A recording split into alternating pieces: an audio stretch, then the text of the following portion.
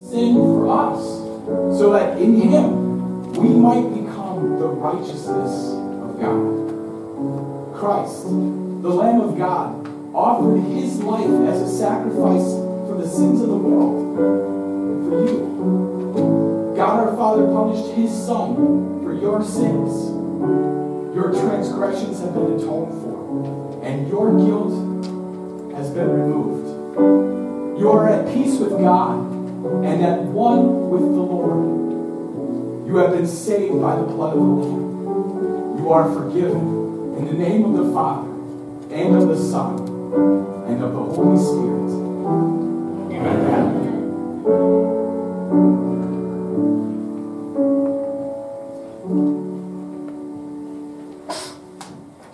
We adore you, O Christ, and we bless you. By your holy cross, world. We adore you, O Christ, and we bless you. God most holy, look with mercy on us, your family, for whom our Lord Jesus Christ was willing to be betrayed, be given over into the hands of the wicked, and suffer death upon the cross. Keep us always faithful to him, our only Savior, who now lives and reigns with you and the Holy Spirit, one God, now and forever. Amen. We turn our attention to the reading of the Word of our God. Our first lesson this evening comes from the book of Isaiah, chapters 52 and 53. See the sacrifice that God gave for us in Jesus. A lesson from Isaiah, chapters 52 and 53. See, my servant will act wisely.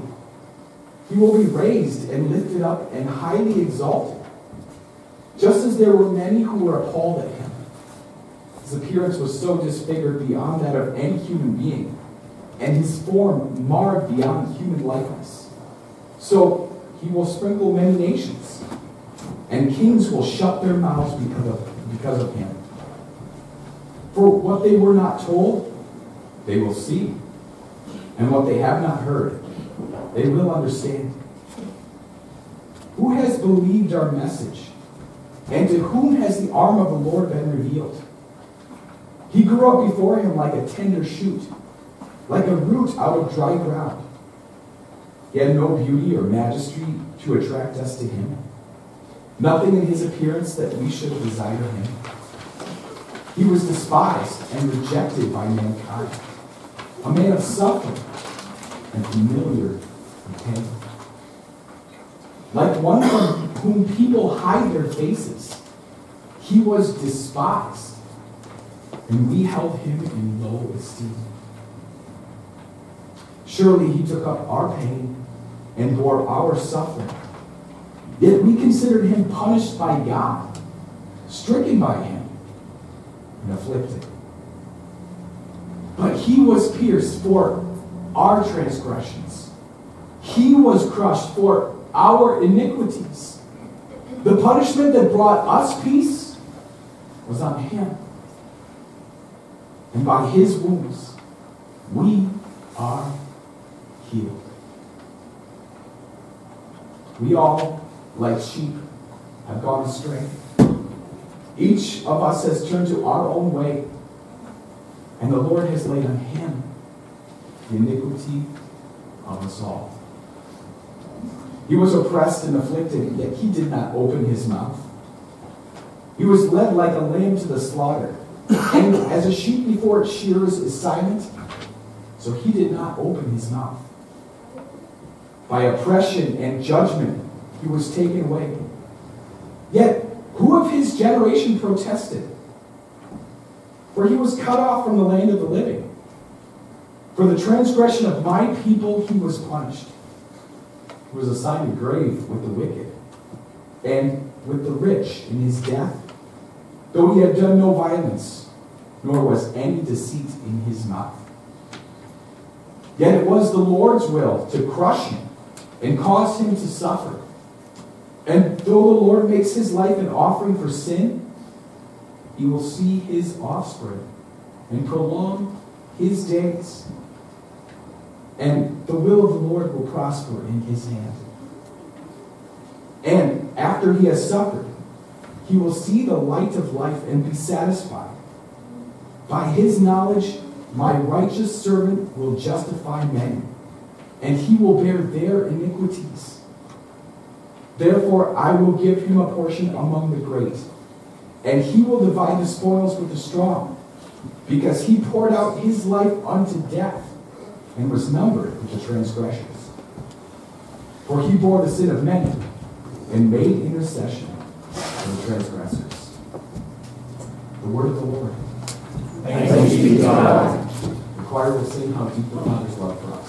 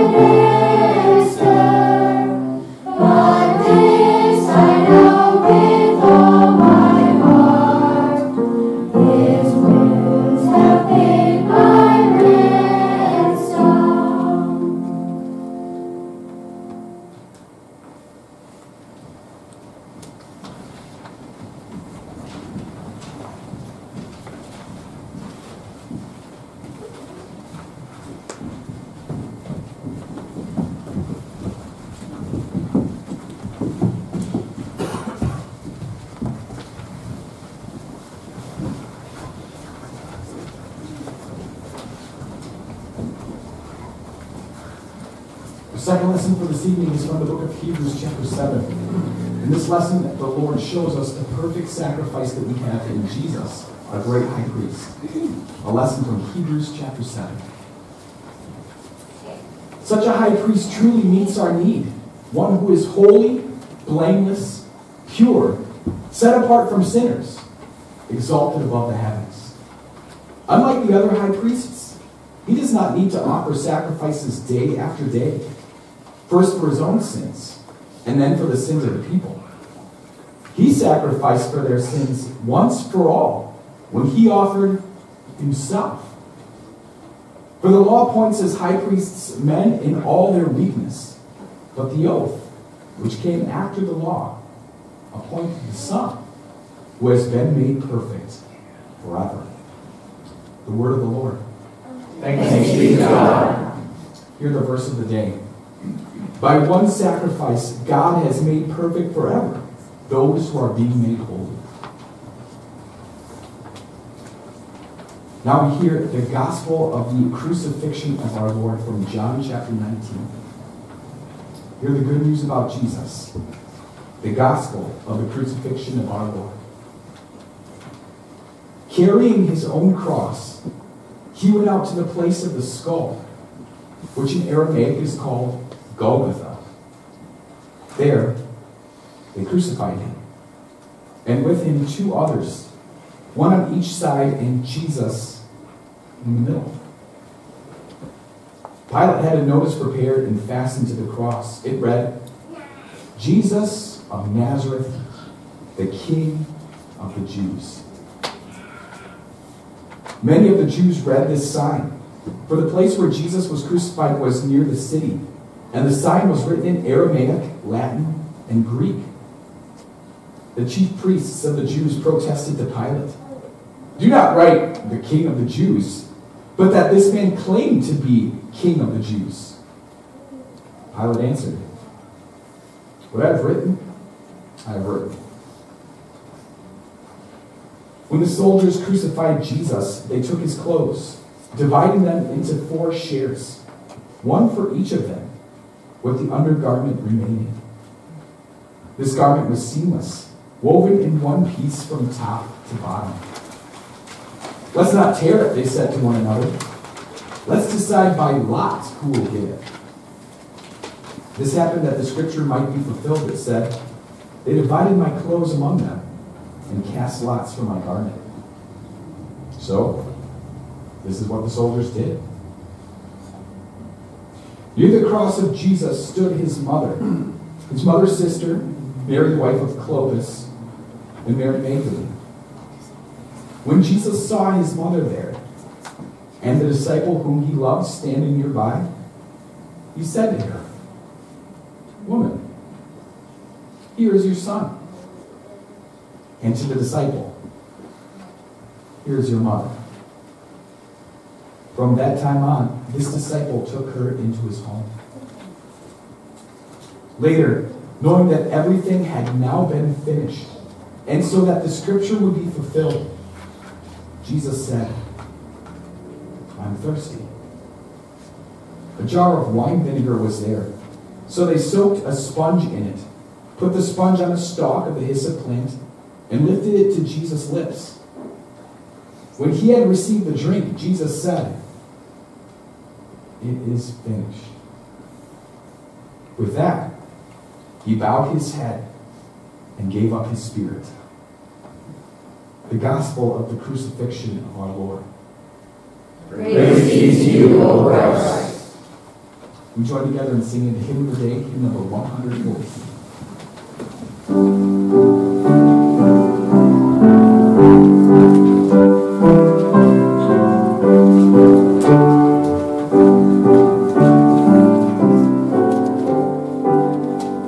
Thank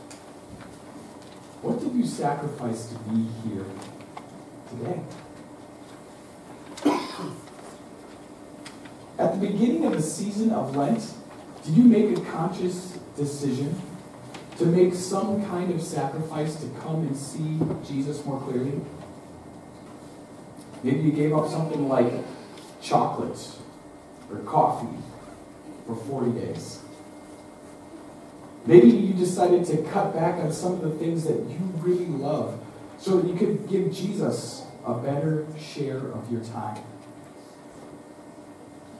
But did anyone here this Lenten season give up sin? Isn't that our goal in our walk with God? To live righteous and holy lives. To sin less tomorrow than we did today. To truly be God's holy people. To offer our life as an offering of sacrifice to our God, one that's perfect and righteous and holy. Maybe you tried during that this Lenten season, and you made it a few seconds before you fell back into temptation, before you gave in to sin. Because no matter how hard we try, no matter how much chocolate we give, give up or how much coffee we deny ourselves, we can't do anything at all to come closer to Christ. All the sacrifices that we would ever make are never enough in God's sight. That's why we've come to the altar of the cross on this Good Friday. To rethink sacrifice. To see what God is asking of us. And to understand what God has done for us in that man on the middle cross. And tonight, as we think about our Savior, I'd like you to stop for a moment and to think about the other two people on those crosses. They made sacrifices to get themselves there. We don't know too much about who those people are. The Gospel of Luke tells us that they were thieves.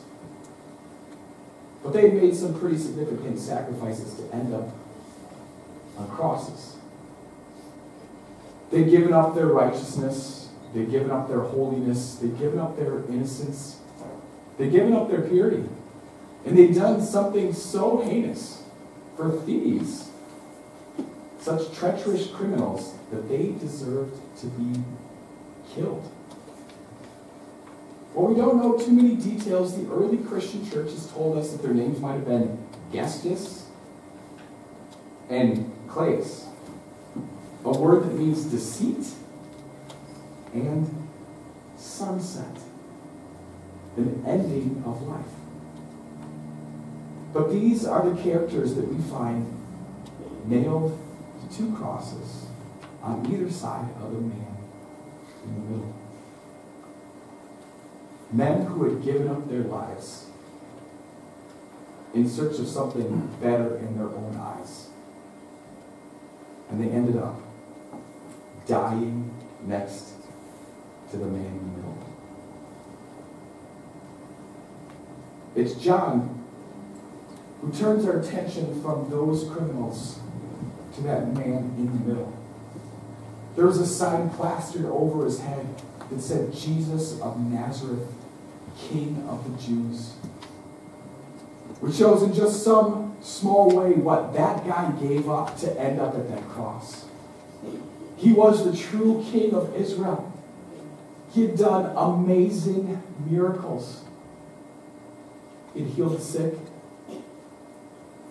Had caused the lame to walk, the blind to see,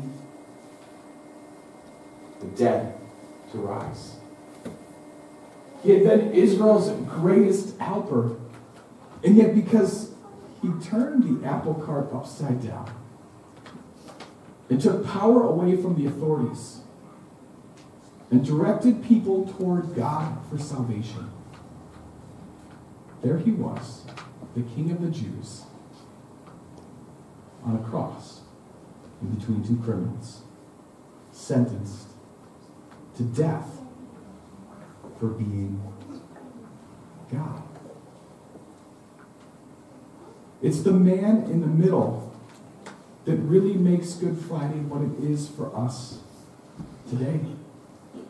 We have nothing to commemorate, nothing to celebrate if it weren't for that one man fastened to two pieces of wood with Roman spikes. He's there because of the sacrifice that needed to be made. Because just like those criminals on the cross next to Jesus, we're just as worthy of iron spikes through our hands and feet. Maybe not because we're such prolific thieves, we deserve to be arrested and sentenced to death in the United States of America.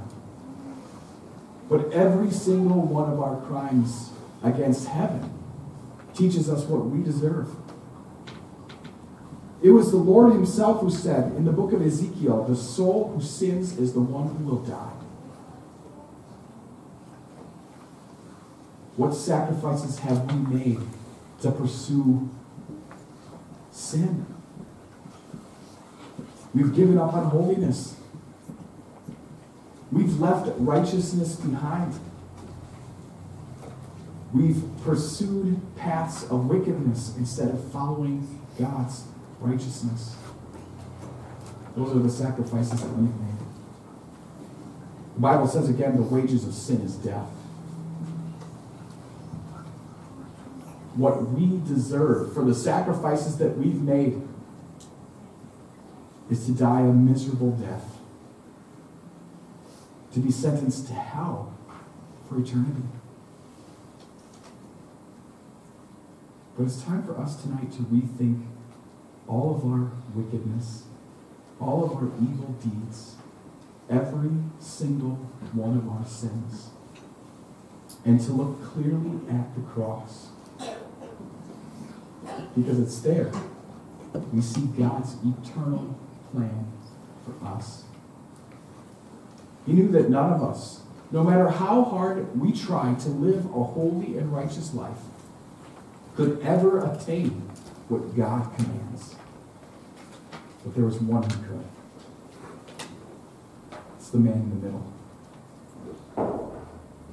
It was Jesus who always obeyed every single command from God. It was Jesus.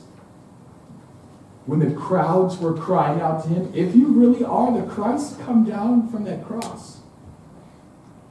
You stayed there. Because of you. He was willing to sacrifice his life so that you would have the complete assurance of a home in heaven at God's side. That was the sacrifice our God was willing to make for you. The 33 years that Jesus spent walking this earth in righteousness and purity can hardly compare with the eternity that he's promised for all who put their faith and hope and trust in him. He needed criminals on a cross to know that he paid the full debt for their crimes that had them right next to him on either side. And needs the criminals in this room here tonight to hear his words echoing out over the ages. It is finished. There's nothing left for you or for me to pay. No other sacrifice is needed than the one that the man on the middle cross made. Your salvation is paid in full. So we don't need to give up coffee. We don't need to give up chocolate. We don't need to do one more thing to try and pledge our lives to be right with God. On this Good Friday, let's look to the cross and see the sacrifice Jesus made. And hear him say to our souls, My son, my daughter, it's finished. It's all done. Everything is paid.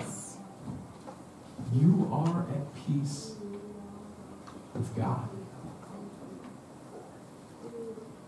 When we've understood that, we truly understand what religion is really about. It's not about what we would ever give to God, what kind of offering that we would present before Him, but it's all about what God has given to us. Everything that He offered to you in Jesus. Real religion is recognizing our sinfulness and God's faithfulness that He showed us in His Son on the middle cross.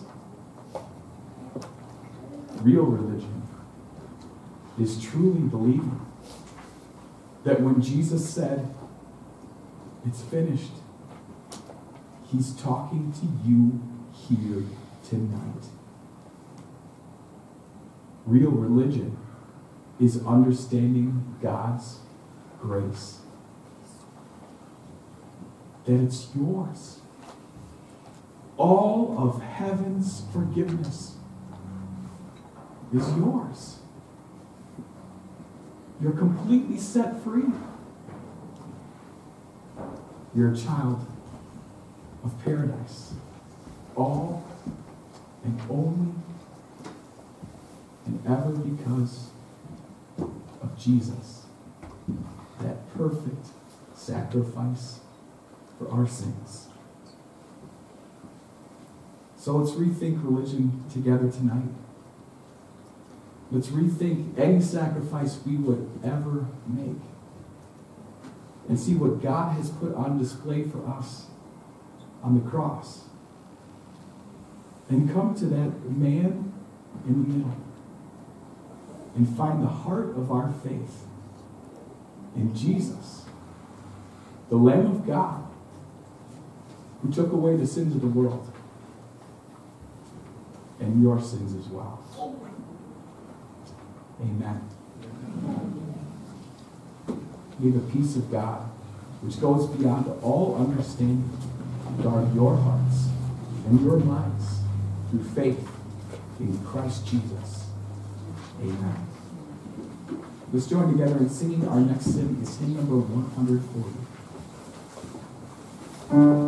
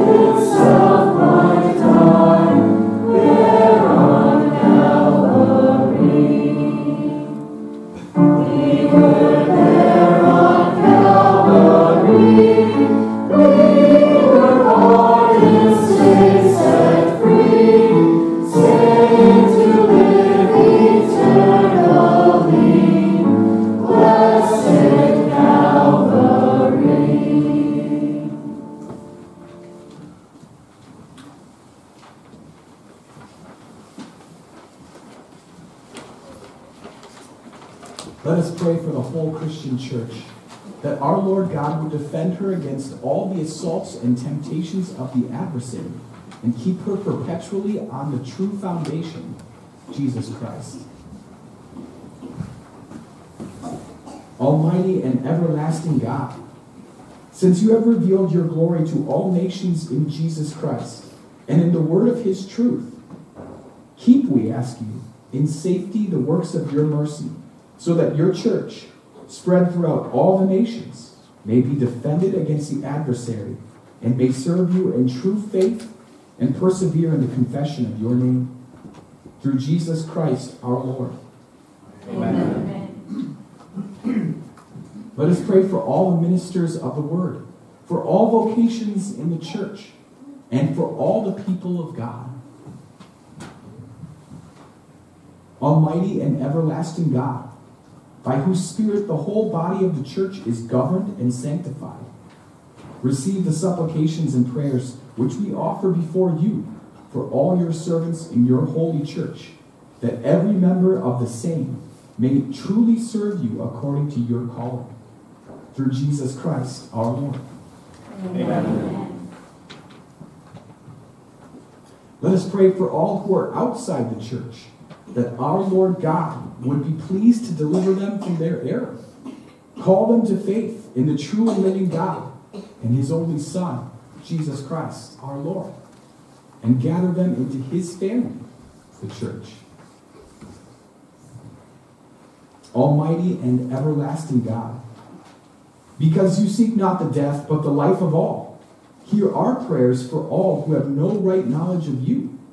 Free them from their error, and for the glory of your name, bring them into the fellowship of your holy church. Through Jesus Christ our Lord. Amen.